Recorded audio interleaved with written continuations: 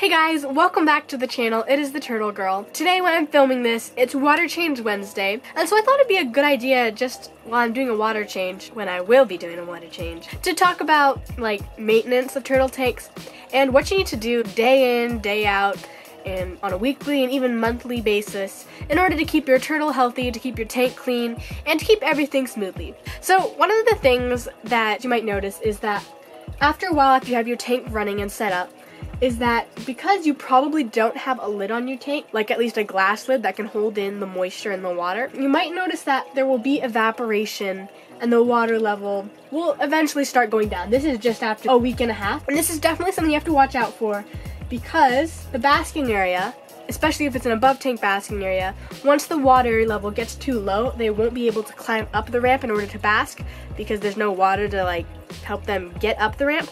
And so when you notice that your water level starts going down, then you just have to top off your water. And so what I do is I just, oh, that's really sad. This bucket's broken.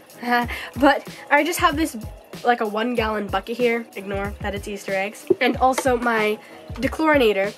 And whenever I notice that the water level is low like this, what you have to do is just fill up your bucket or whatever with water and top off the water until it's to the appropriate height or depth or whatever. So topping up water is one of the things you have to do, is, and this will vary based on the temperature of your water, based on what temperature you keep your home at. It'll cause different rates of evaporation.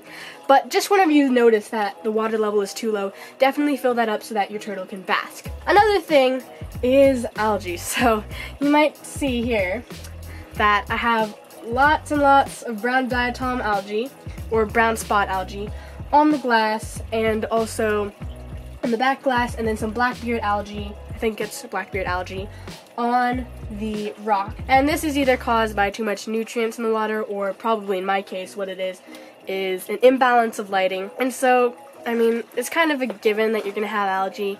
So what I do is just when it starts getting unsightly is I have this cool magnet thing and I can just use it to scrape off the algae off of the glass. For the rocks, you'd actually have to take them off. So I don't really worry too much about the rocks because not that big of a deal to me. And I like to do this before I do a water change because what happens is the algae, though some of it does get killed by scraping it off, most of it just goes back into the water and it can still survive. And then a couple hours later, it will just come back and stick on the glass. So by doing it before you do a water change and then you change out that water, you're actually removing some of that algae from the environment as well as removing some nutrients from the water that would be causing the algae.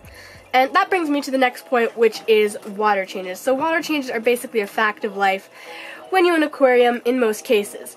Because turtles are messy, and even though you hopefully have a big filter, you will have to change water in order to remove some of the waste in the water. And can see here, I'm gonna do it in just a second. It's really fun.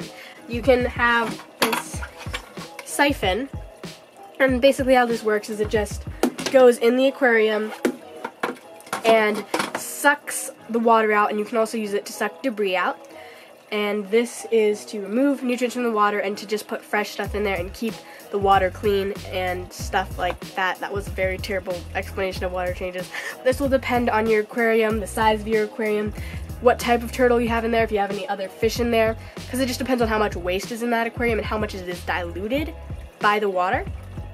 But for me, once the tank is established, and what that means is the waste levels are not fluctuating and there's enough bacteria in there to break down the waste.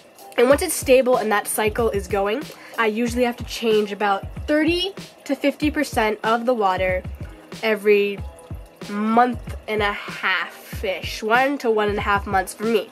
But it's a good idea to, when you're first getting your aquarium started and you don't know what your routine needs to be, is to get a test kit. Now there are both liquid test kits and strips. And strips are definitely easier, but I just use the liquid one because it's supposedly more reliable. But just use that to see how much nitrates are in your aquarium, you can use this to see how much nitrates are in your aquarium. And then based on that, once it gets to a higher level, like 40 points per million is the term that they use, then you can start changing water until it gets back down to a reasonable level. And so a test kit is a good way to determine how much water you will need to be changing because it really does vary. It depends on your tank, so just do what works for you. But when you're doing a water change, it's a good idea to take your turtle out of the aquarium and put them in a separate bin because it can stress them out just being in there with the water siphon and it's just easier to actually just take them out in order to reduce that stress that he might have experienced if he was in there while the water changing was happening. And one thing you need to make sure when you are doing a water change is unplug your heater and filter because the filter obviously will stop working once there's water not entering the intake pipe. So unplug your filter. And then also, you'll have to unplug your heater because if you leave the heater on while there's like no water surrounding it, it can actually explode. So you don't want an exploding heater, just unplug your heater when you are doing a water change and unplug your filter. And for the filter, you do have to actually service your filter because it will accumulate lots of waste and poop and uneaten food and all sorts of gross things. And the best way to do this is you want to do it in a way that preserves that bacteria on there that is processing the waste. So, when you're doing a water change, you will have your bucket full of tank water that you just changed. And so there's the tank water in there. You take out the media in your filter, and then you can just kind of rinse it out in the bucket. And what that does is because that's the tank water, it won't kill the bacteria as if you used tap water. And killing your bacteria can be a really bad thing. It can cause ammonia spikes. Now, to be honest, turtles aren't like that sensitive to water quality like as much as fish are because they're reptiles and they don't breathe it and all that stuff but it still affects them to a certain degree. So you want to try to preserve as much of that beneficial bacteria as you can in order to prevent stress to your turtle and especially if you have fish to prevent your fish from potentially dying. And another thing, one more thing, last thing. This is my tip of the day. So this is a turkey baster.